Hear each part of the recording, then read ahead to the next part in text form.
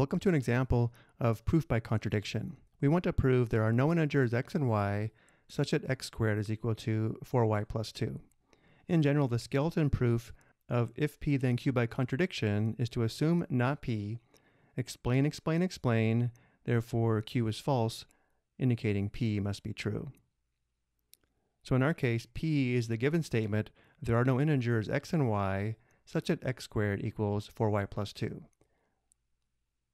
The statement not p, which we will assume, is there are integers x and y such that x squared is equal to 4y plus 2.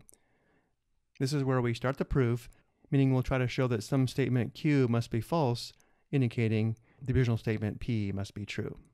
So to begin the proof by contradiction, we suppose there are integers x and y such that x squared is equal to 4y plus 2.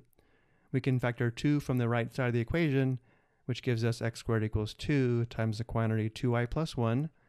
Notice x squared is a multiple of 2, so x squared is even, and x is also even. So x is equal to 2k for some integer k. Squaring both sides of this equation, it follows that x squared is equal to 4k squared. By substitution, using the equations x squared equals 4k squared and x squared equals 2 times the quantity 2y plus 1, we have the equation 4k squared equals 2 times the quantity 2i plus 1. Dividing both sides of the equation by 2, we have 2k squared equals 2y plus 1. From here we should notice something strange. Here's the contradiction that we need.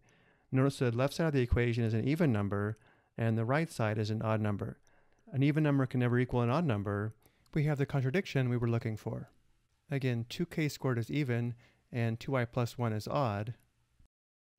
2k squared plus 2y plus 1 cannot be equal, an even number can never equal an odd. Thus we have a contradiction. Therefore, the visual statement p is true, meaning there are no integers x and y, such that x squared equals 4y plus 2. I hope you found this helpful.